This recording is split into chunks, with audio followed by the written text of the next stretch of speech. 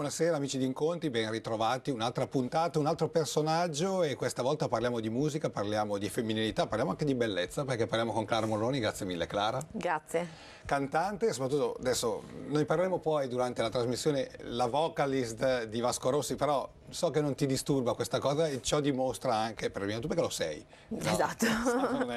e poi non ti sminuisce, ho sentito anche altre interviste, però a me interessa la Clara, a noi interessa la Clara Moroni, quello che esprime proprio lei di persona. Allora diciamo come sei nata il 3 novembre, sì. Scorpione, Scorpione, lo dico perché sono ascendente Scorpione. Addirittura io yes. ascendente Ariete, perciò siamo... È buono, È ottimo, buono, io non sono esperto di eh segni. no, sono... Scorpione e Ariete sono segni complementari, ah, quindi ecco sei un uomo completo. Sono un uomo completo, ah perfetto, vedi già mi hai dato tu un'informazione. Hai visto?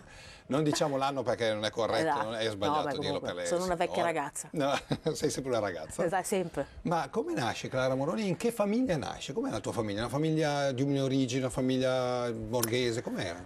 Allora, mio padre è, innanzitutto è nato a Rijeka, a Fiume. No, a Fiume? Sì, quando ancora era Jugoslavia.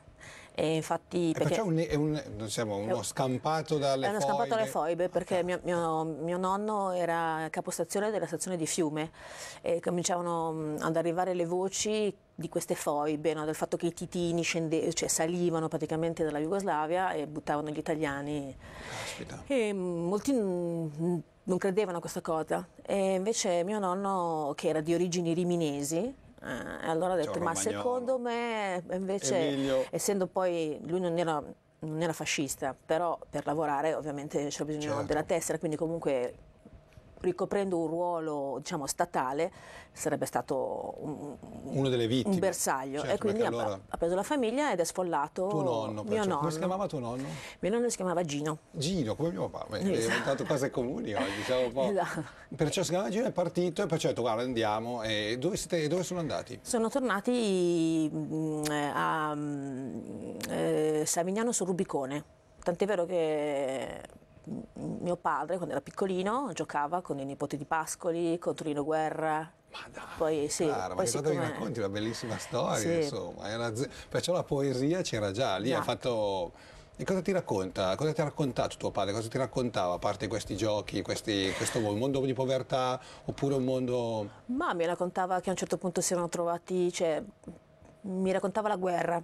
Ecco, mi raccontava che, non so, del tipo che si mettevano al centro con, con intorno le mucche, e quindi, perché quando sparavano da, a nord i, te, i, tedeschi, a sud gli americani, eccetera, eccetera. Cioè, perché poi la Romagna si trova nel esatto. mezzo del fronte, perché non è esatto. in, proprio nella linea, insomma. E quindi loro si mettevano, praticamente mettevano le mucche intorno a loro, si mettevano lì, ogni tanto qualche mucca cadeva perché veniva colpita, però salvava loro. Però salvava loro. Poi mi, mi raccontava di giochi, non so, del tipo che avevano trovato sul fiume, un, un, un, elmetto nazista e poi avevano tirato su e hanno trovato questo teschio. Davvero, perciò sì. c'era sì, sì. anni terribili, no? Io. A me piace molto anche la letteratura perché sa raccontare, sa spiegare cose che eh, magari la cronaca di allora non faceva e perciò il terrore, l'orrore della guerra. Eh, questa è una, diciamo, una lezione che hanno imparato i nostri padri, noi siamo fortunati, so che a volte noi non siamo mai contenti, io per primo non sono mai contento, perciò si stava meglio quando si stava peggio, non è vero, a volte comunque no, c'erano no. magari altri valori, altre cose, però... No, infatti sono molto preoccupata anche per la situazione di questa Europa che secondo me, cioè,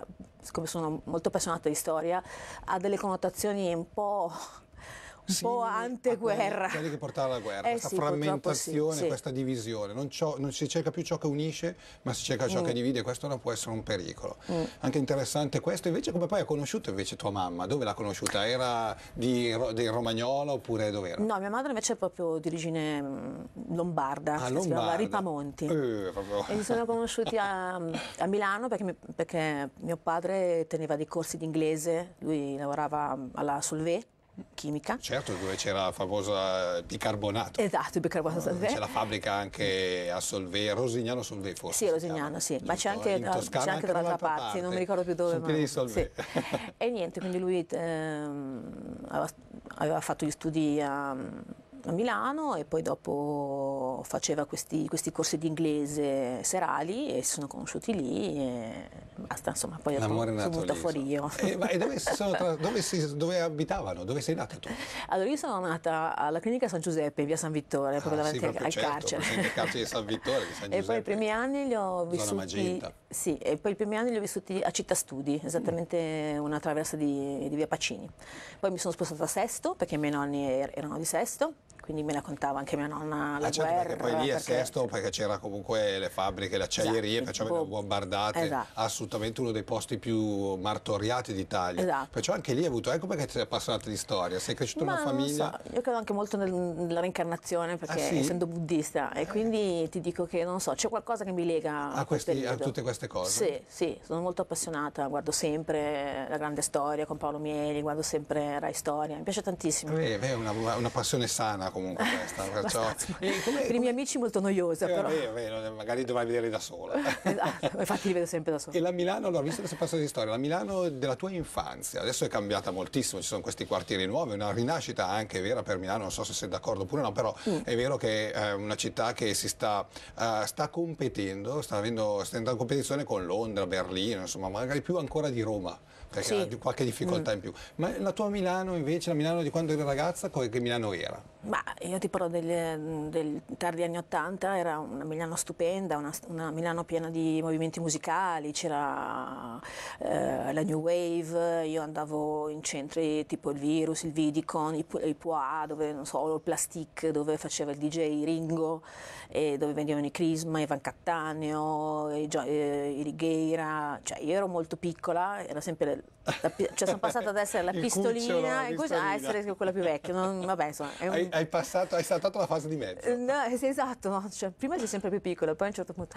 E quindi niente, insomma, eh, poi io ero punk e quindi eh, via Torino... punk anche proprio... Sì, sì, come, che cosa che avevi? avevi... Eh, avevo... Allora, quando sono tornata da Londra mia madre non mi ha voluto salutare, un... cioè in strada non mi... perché avevo i capelli fucsia. Ui, lo diciamo così anche le mamme di adesso con i ragazzi. Adesso di, è tutto no, normale. Adesso è normale a confronto. No. Capelli fucsia non ti ha salutato? No, beh, nel senso che quando andavo in giro era... Un po' imbarazzata. Era un po' imbarazzata. Però piercing, queste cose... No, quelle cose lì no, no. Non, era, non, era, una cosa del punk di allora, neanche, neanche il tatuaggio è venuto fuori dopo. dopo sì, cioè, sì. erano i capelli. Erano i capelli, una... i vestiti, ma secondo me non c'era poi nessuno punk. Infatti eh, io mi ricordo ai tempi che eravamo tipo in via Torino e venivano i giornalisti, ci davano 5.000 lire per farci le foto, per intervistarci, perché tipo c'erano a Milano 100 punk e quindi noi eravamo sempre lì. Eravate esatto. presi comunque come modello, esatto. perché poi c'erano, erano gli anni dei movimenti, dei, perciò c'erano esatto. i paninari. No, ma infatti, infatti via Torino è stata, stata, proprio un luogo di scontro, no? c'era i punk, poi c'era, c'era piazza Mercato dove c'erano gli skinheads, poi c'era l'Economia San Lorenzo dove c'erano gli, gli, heavy metal, poi c'erano i mods, Caspita, cioè ci sono stati degli scontri, cioè era comunque... Tutto cancellato, un po' più omologato adesso, no? Non è tutto adesso è totalmente omologato. Non, non, ricordavo, però appunto io sono anch'io di quel periodo, perciò ero forse un po' più vecchio allora, perciò non, non ho fatto tempo a, a viverlo, però un po' più omologato, i ragazzi non sono più così distinti? No, ma anche perché adesso non ci sono più neanche motivi di... è tutto molto più frammentato, non c'è più, cioè no, non ci sono più dei gruppi di, di, di appartenenza. Ecco. Perché io Clara mi domando questo e chiedo a casa incuriosisca anche per le generazioni che non hanno fatto tempo a viverle, ma al di là dei vestiti e dei capelli e delle mode, però cosa era, cosa era l'ideologia punk? Cioè c'era qualcosa dietro o era semplicemente fare gruppo perciò si andava d'accordo con quel tipo di persone? Beh no, essere punk voleva dire eh, spaccare il mondo, rompere la società, rompere gli schemi, essere contro, cioè, essere, eh, contro. essere contro, essere anarchy in the UK, che quindi era anarchy in Italy, beh, insomma. e quindi anche il fatto di fare musica per me, eh, diciamo, l'imprinting che ho avuto è stato quello che la musica ha comunque un ruolo sociale, non è solamente intrattenimento. Infatti quando una delle prime cose che volevo fare quando ero punk era fare gruppo, solo che abitavo a Sesto e avevo uno che suonava la chitarra al sesto piano ma faceva proprio battisti. E, e quindi insomma, è stato un po' un disastro, però poi alla fine ho trovato e abbiamo cominciato tra l'altro cioè, ho anche suonato come supporter all'Odissea 2001 di tantissimi gruppi inglesi famosi ai tempi, insomma. Certo che poi adesso abbiamo tutta questa connessione, perciò si arriva di tutto, invece allora c'erano c'era proprio quando arrivavano, erano comunque quasi dei miti che arrivavano, perciò li conoscevi, li vedevi da vicino, Sì, ti, sì, sì. ti entusiasmavano. No, ma noi non avevamo neanche i vestiti, quindi c'erano, anche perché eravamo piccolini, no? quindi eh, c'era quello che partiva per Londra e noi gli davamo i soldi, così lui andava a comprare da Boy in Kings Road i vestiti e poi ce li portava, tipo il giubbotto di pelle, i pantaloni eh, scozzesi con i, con i bondage, le magliette strappate, cioè no- non c'erano ancora, dopo piano piano via Torino insomma è diventato un luogo dove c'erano questi negozi. Dopo diciamo che l'avanguardia è diventata comunque, siete rimasti in pochi, però poi sono andati anche gli altri. Sì, sono poi dopo po'- c'è stata l'evoluzione appunto dal punk alla new wave, eh, quindi una fase più elettronica, Depeche Mode seconda maniera,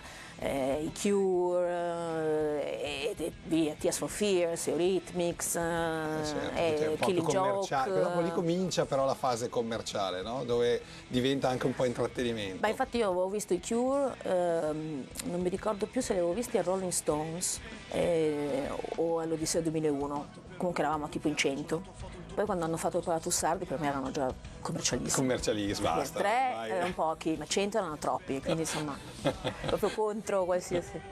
E allora invece tu perciò cominci, ehm, non sei riuscita a fare un gruppo a sesto da sola? No, l'ho dove fatto vai dopo? a Milano. A Milano. A Milano. ok. Sono andata in, in Corso Magenta dove si trovavano a Perché tu la passione della musica l'avevi, ma chi te l'ha insegnata? Era una cosa tua? No, l'ho sempre avuta anche, anche da piccola. Mio padre mi, di notte mi faceva diciamo, le, le sortite perché io avevo il cuscino, avevo la radio con, con l'auricolare e stavo tutta la notte a ascoltare la le prime radio libere, no? cioè Certo. Radio Reporter, Radio Certo, Peter Flowers. Peter Flowers, Esatto. abbiamo Teo Mangione da noi che è proprio uno dei, dei- dei- degli inizi- quelli che iniziavano. Quello che allora. c'era, insomma. Quello che c'era allora. Quello che c'era allora. Perciò non è a volte la famiglia poi ti aiuta, perché la tua famiglia No, mio padre non, musica però non... non, avevo particolari. Mia madre cantava bene, per cui penso che preso da lei. può essere che l'abbia presa da Da lei. Ripamonti, vedi qualcosa, Esatto. poi di solito invece pensavo che la Romagna portasse la vena artistica, invece No. anche la vena milanese, la No, vena no, no. lombarda. No, poi i Rimini io l'ho sempre vissuto solamente d'estate,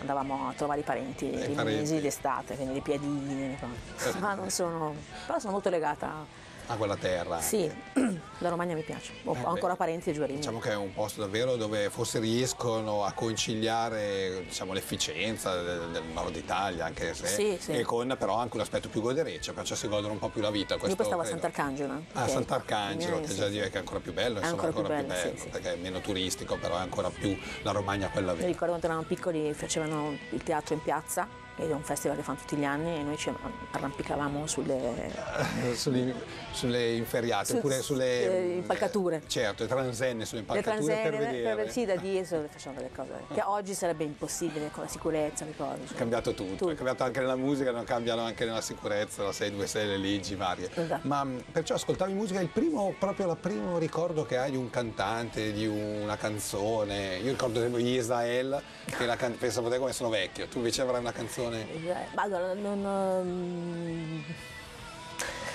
non lo so, ti posso dire eh, che la prima volta che ho sentito i Sex Pistols, bah, mi, lì? è, mi è esploso il cervello. C'è qualcosa dentro, perché allora Esatto. sì, eh, perché ti- sì, c'è un tipo di musica molto particolare, però è quello che ti ha affascinato. Sì, quello mi ha proprio... Detto, io voglio fare quella cosa Voglio, voglio, voglio far parte di questa cosa. E quindi, siccome non c'erano appunto i punk, lo sapevo perché leggevo, eh, loro si trovavano al, al Bar Magenta. E io sono arrivata vestita come una sfigata e sono andata da loro e gli ho detto voglio, voglio essere punk come voi. No, ma guardate, mi hanno detto va bene. Sì, perché non è che, i punk non è che avevano queste, diciamo, uh, manifestazioni proprio, no. No, ma mi hanno guardato proprio dall'alto in basso e mi ma chi è sta sfigata? Eh, però ho detto va bene.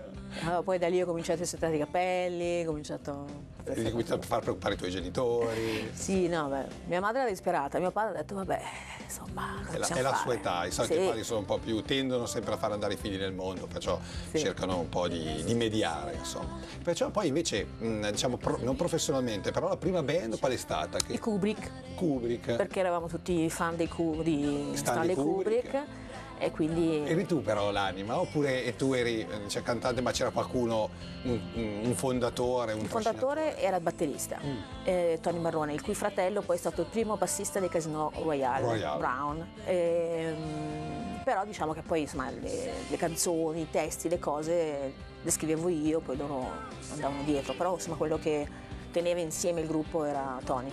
Fa piacere quando parlo con te Clara perché credo che anche a casa gli appassionati di musica, perché poi fai tutti questi riferimenti che è un po' come davvero come i supereroi quando si guardano le figurine, no? Eh, ma questo allora con quello, perché poi è un eh, mondo comunque che eh, si intreccia, un mondo che si conosce, le eccellenze poi emergono e eh, fanno, fanno, squadra, fanno gruppo, fanno insieme, no? Perciò sì, questa sì, è una cosa bella.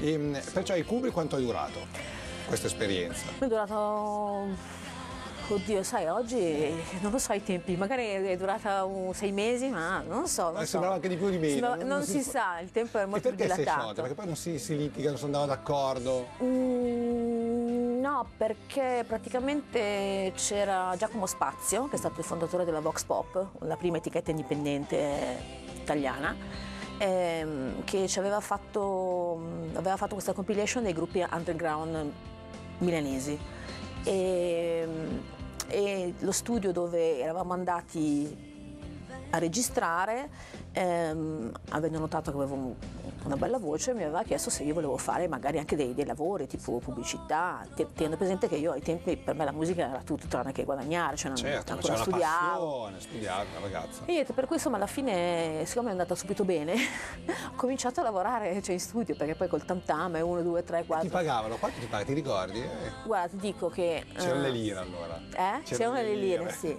Devo dirti che eh, il mio primo lavoro è stato la pubblicità della Bassetti, nel senso che poi l'ho scritta anche io, nel senso che c'erano ancora le gare di appalto, no? c'era ancora eh, Armando Testa, c'era la... Mi ricordo, adesso non mi ricordo certo, tutti le agenzie pubblicitarie le grosse più famose. agenzie, esatto e la, la Vetriolo. E niente, allora lui voleva, dovevano fare questo, questo, questo jingle e lo volevano in stile Madonna. Siccome io suonavo le tastiere, già avevo i primi computer, avevo l'Atari ST 1040. Caspita, quindi anche la di computer, l'Atari. E programmavo con il, con il Notator, che poi è diventato Logic e adesso allora, insomma, sei mar... multitasking, sai un sacco di cose, canta e basta, sai fare un sacco no, di cose. Sono, sono quasi imbarazzato da quante cose fai. Io sono mono, mono uso, mono dose, non so. Vabbè, ma dai, ma lo sai che gli uomini non sono Eh no, hai ragione, anche questo, forse è il limite mio strutturale. E niente, insomma, per cui alla fine lui mi fa, io non so, perché non ho, non ho questa cultura, io ero un jazzista, gli faccio, vabbè, uno stile tipo Madonna, la so, attaccando. E ho tirato fuori questa cosa che poi era brio, bassetti, brio. E tu l'hai fatto, brio, bassetti? L'ho fatto io, giuro giuro. E lui mi ha detto, abbiamo, hanno, lui ha vinto la gara d'appalto e non so quanto ha preso lui, però a me ha strappato una segna da 2 milioni e mezzo. Caspita, allora eh? ci compravi con 2 milioni e mezzo? Non lo so, però io ho detto wow. Una macchina ci compravi allora, era comunque sì, una sì. macchinetta la compravi sicuramente. Sì, sì. Perciò hai cominciato lì di beh, questo. E poi quindi da lì ho un po', diciamo, perso un po' il gruppo, le cose, ho cominciato a fare anche le cose un po' da me, ho cominciato a collaborare con, con delle etichette, perché a quei tempi c'era ancora tanto spazio per la musica, c'erano ancora tanti budget, c'era ancora tante, c'era modo di produrre tanto. Certo, Quindi, perché i dischi comunque venivano venduti, facevano sì, soldi, ma c'era pubblicità, c'erano sacco, eh. tante cose. Io ho lavorato per, con tantissimi grandissimi musicisti, tipo Mauro Pagani, abbiamo fatto un sacco di pubblicità, Franco Godi, che poi è stato il primo produttore dell'articolo 31. Eh, Qual era? C'era uno che ti era proprio questo qua, dice questo era proprio bravo a capire la musica, a capire i tempi. Beh, Pagani è molto Pagani bravo. Pagani bravo. Sì. Mauro Pagani molto molto È uno bravo. che la sa lunga, sì, che sì, sì. ha l'orecchio e poi sa capire le tendenze che è fondamentale, cioè incrociare il gusto del pubblico perché lo crei tu, certo. I, i, cantanti famosi creano il gusto, però devono anche interpretare un po' il periodo, perciò lui è uno comunque un fuoriclasse. Sì, sì, però Pagani sì, insomma, se no non avrebbe lavorato con Eh no, così lungo, così tanto, questo è vero, anche ragione tua. Perciò Clara comincia a fare le cose da sola, comincia a imparare eh, una nuova professione, quella di cantante solista, sì. no? Perciò? Sì, di cantante, cioè diciamo di, di sessionist. Sessionist. E, e intanto ecco, scrivo... La parola è sessionist. Sessionist, cioè di, venivo chiamata per fare le voci, per fare una pubblicità, per fare dei cori sui dischi, per fare tante cose, anche trasmissioni televisive, gli stacchetti pubblicitari, del, non so, ho fatto con Lorella Cuccarini, non mi ricordo il programma, era tipo ricomincio dal 2, no, insomma uno con Buzzanca, Cuccarini e Gambarotta, non mi ricordo più il nome. Certo, Quindi, Bruno insomma, Gambarotta, Bruno certo, Gambarotta, era, esatto. sì, tante cose. Programmi famosi anche, sì, sì. tu partecipavi, facevi jingle, facevi la musica. In studio preparavamo studio. tutti i jingle. Sì, con, erano produzioni non come esatto. quella adesso, eh, siamo tutti più ridotti, allora erano produzioni anche abbastanza uh, corpose, imponenti. Sì, certo. no? Poi c'erano, era, c'erano dei buoni budget, anche lì, ad esempio, per questa trasmissione ho conosciuto Luca Orioli, che poi è stato poi un po' una chiave di volta. Luca Orioli è quello che poi aveva ha diretto per tanti anni la band di Passaparola, ti ah, ricordi quello certo, con Gerry Scott? Scotti, esatto. io parte, mi chiamavano Sapientino perché io volevo sempre vincere a casa. Esatto. Luca Orioli. Dice, vai, vai, ma io se fossi andato sarei stato imbranato. Ma a casa riuscivo con Passaparola, ah, perciò è lui comunque un'altra sì, persona. Perché che... poi lavorando con lui in studio a questa trasmissione, poi lui eh, d'estate mi chiamò, era tipo fine luglio, quindi... Mm, non trovava nessuno, erano tutti in vacanza, io invece ero ancora qui e mi fa ma ci sei il 2 agosto? Ho detto sì, no perché devo fare l'album, eh, sto facendo l'album di Alberto Fortis, verresti a Bologna a fare, a fare le voci? Ho detto sì sì certo. E lì io conosco... andare in vacanza ad agosto, stare sì, a casa è un'opportunità. esatto, a volte sì.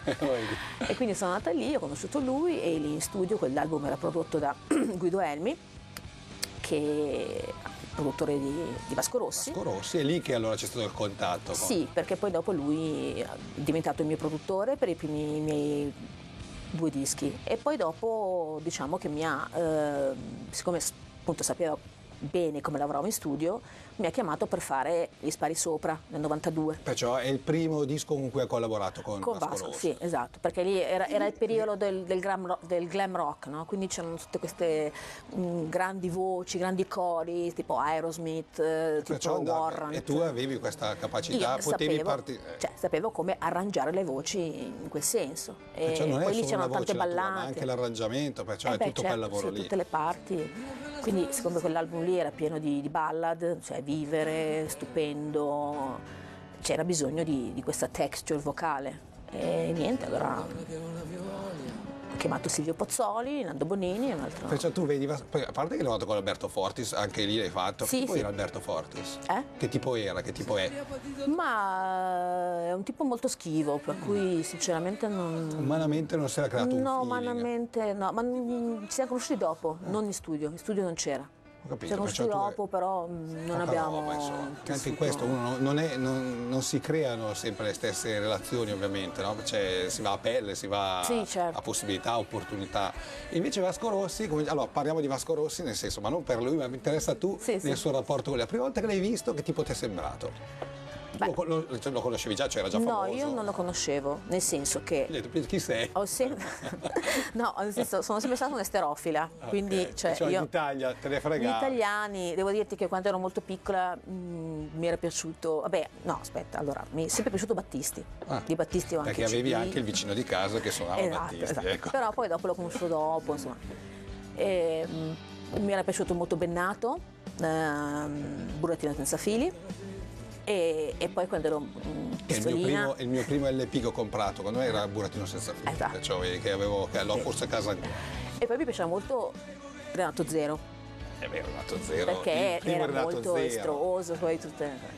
Quindi però di musica italiana oltre a quella, cioè a parte quella appunto dei, dei 7-8 anni, ho letto che hai scoperto De Gregori pochissimo tempo fa. Assolutamente. Come se fosse uno che ormai è ora di andare in pensione può fare Perché ero troppo piccola, cioè quando lui faceva le cose ero troppo, ero troppo piccola. E dopo, dopo... non ti sei disinteressata, è forse in quella fase di calo comunque che hanno gli artisti, perciò sei giustificato. Perciò Esatto. Vasco Rossi per te era una, voce, era... Vasco Rossi me lo ricordo che faceva vado al massimo, eccetera, eccetera, ma non mi. non, non è che mi. cioè non lo seguivo. Cioè non hai detto, ah, Vasco Rossi? No. No, ma anche perché secondo me, allora, a quei tempi eh, c'era proprio una milanesità e quel tipo di musica era molto legata alla emilianità.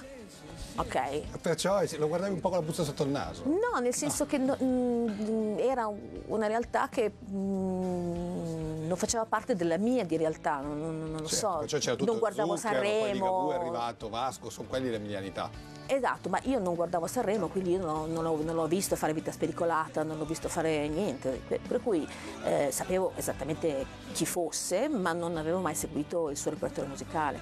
E, però insomma, incontrarlo è stata una, una emozione, perché comunque un personaggio eh, molto timido, Praticamente interessa sapere questo perché poi noi vediamo i personaggi, li guardiamo attraverso il televisore, attraverso i giornali, i racconti, però poi c'è un, una persona privata, una persona che magari sì. ha delle, che pochi conoscono. No? Ma lui Perciò- è uno molto T, cioè nel senso, non so, lui è, Eh, non è Vasco è un po' uno, eh, uno è trino, nel senso che proprio, cioè è molto timido e dall'altra parte no.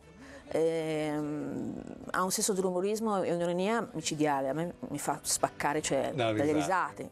È Eh, caustico oppure c'è uno che fa delle Sì, sì, sì, Sì. sì, sì, sì, molto, molto cauto. No, è una persona molto gradevole con, cui Stare, stare interloquire, eh, E, per- e com'è stata la collaborazione con lui? Cioè, professionalmente com'è? Era uno esigente, è uno che però si fida dei suoi collaboratori, è uno che è un No, no, rompiscatole, un no, no, pignolo, no, no. com'è? Mm, vabbè, insomma, ci sono vari periodi di Vasco, varie, Varie fasi. sì, Come varie fasi, diciamo.